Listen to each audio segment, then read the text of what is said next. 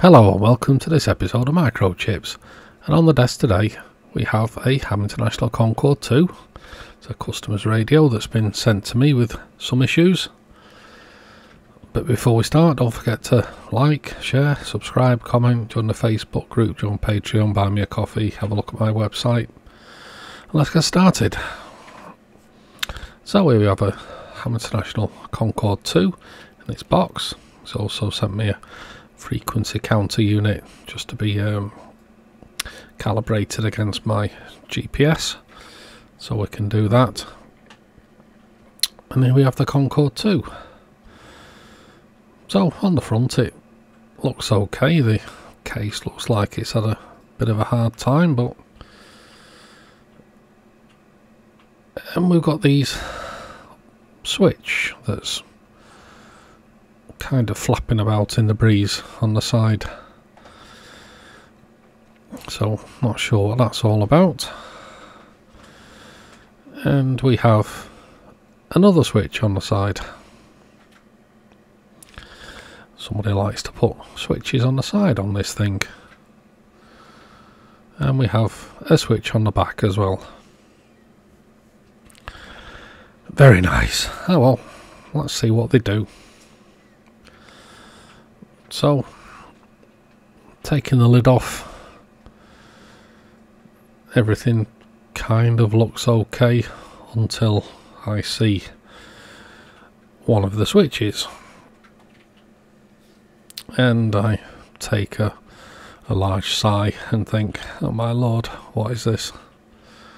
Let's have a closer look. So basically we've got crystals across the switch. Very nice.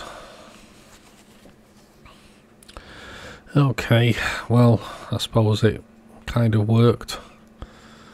We've got a switch on the back. Presume that's for the Roger beep.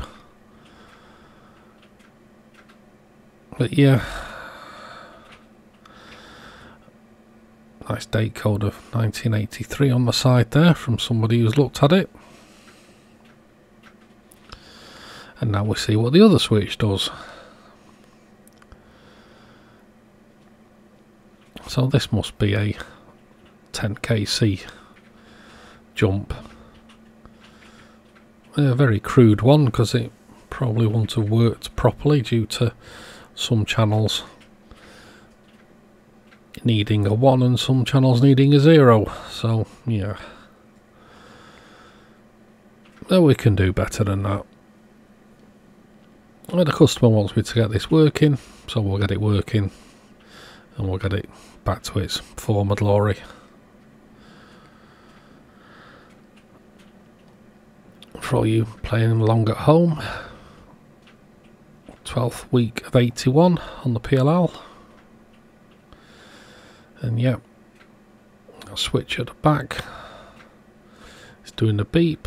There's no RF bias mods doesn't look like the ALC's been done either so we can do that. So let's take out this poorly switch and put this back to some form of normality. So turning it over it's just literally a switch with two crystals on it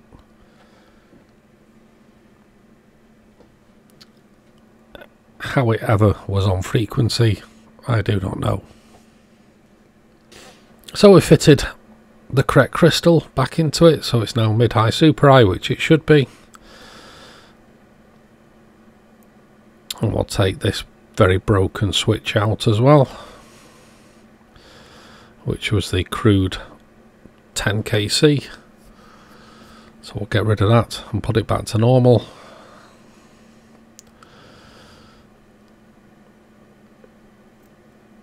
And we'll attend to the bleep which is only cutting the tone off so we've still got a gap at the end of the transmission it just removes the tone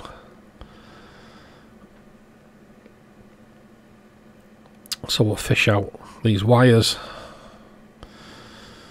And we'll make this a little bit better for him. So we've reconnected up the audio to the correct point. Let's have a look at the RF bias whilst we're here. So I've changed the resistor.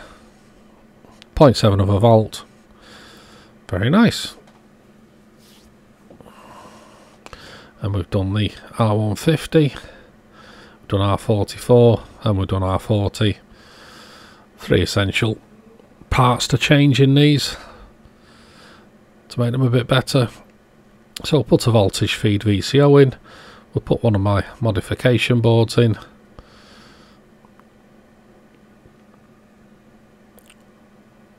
We'll just have a quick alignment and see what it's all about. So we're on the 10 to 40 test point there.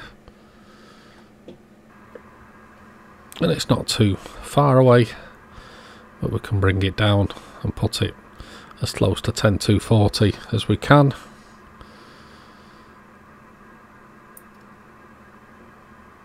without overshooting it because these are a bit twitchy sometimes but that'll do. That's close enough. A couple of hertz.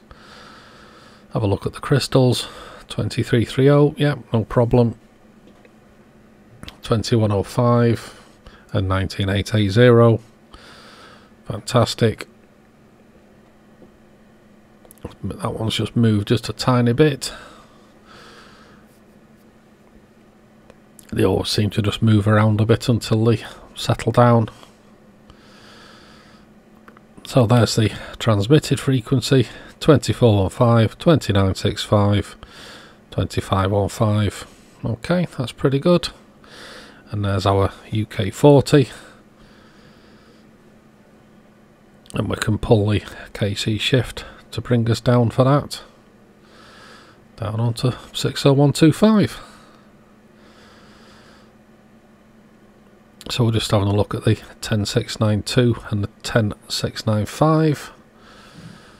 So 10695 is a a whole fortnight out. So we'll put that up correctly.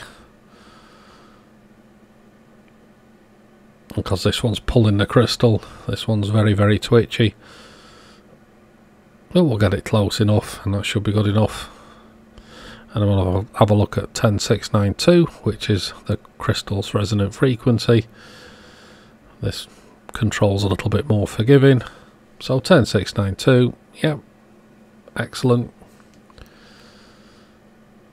And there's the correct wiring for the bleep. So that will now eliminate the delay. So when the bleep is off there'll be no delay which is how it should be. Now the customer wanted me to fit another bleep in this as well. So as you can hear no delay. So we're going to have top, Ham International bleep, and we're going to have the bottom, one of my adjustable K-tone beeps. So on these adjustable beeps we can speed it up and slow it down and adjust the pitch. Just get it sounding nice for him.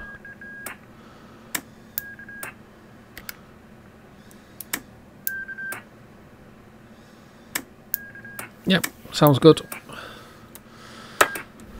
So in the top position we have Ham International beep, bottom position we have the K-tone beep. Fantastic. And in the middle position, nothing. So we've tidied it up inside. And everything's good. Put the beep inside some heat shrink tubing so it's nicely protected so the customer can adjust it if he wants to. And now we have this quick repair on this Ham International Concorde 2. It's sounding well now, so we'll give it a test and we'll send it back to the customer. So yeah, another Ham International Concorde 2. We do like these radios, one of my favourites. Anyway, If you like the video, don't forget to like, share, subscribe, comment, join the Facebook group, join Patreon, buy me a coffee, have a look on my website, microchipz.net, where all my boards are. And thanks for watching, and we'll see you in the next episode.